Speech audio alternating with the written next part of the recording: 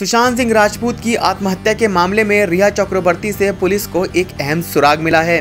आपको बता दें कि सुशांत सिंह ने रिया चक्रवर्ती से कहा था कि वो यशराज फिल्म्स के कॉन्ट्रैक्ट को ख़त्म कर दे। रिया ने बताया कि उन्हें ये बात गलत लगी तो उन्होंने सुशांत सिंह की इस बात को नहीं माना और सुशांत सिंह राजपूत ने खुद यशराज के साथ अपने सारे कॉन्ट्रैक्ट्स को ख़त्म कर दिया था।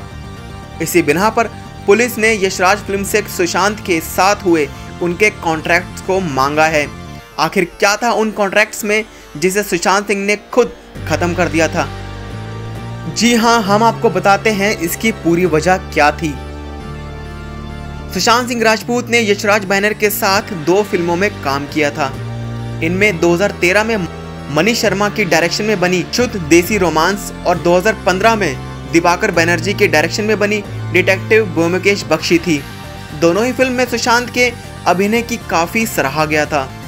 यशराज बैनर के साथ सुशांत की तीसरी फ़िल्म पानी हो सकती थी, जिसका निर्देशन शेखर कपूर कर रहे थे।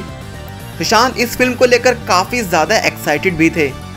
हालाँकि यशराज फिल्म्स ने इस फ़िल्म को रोकने का फैसला किया।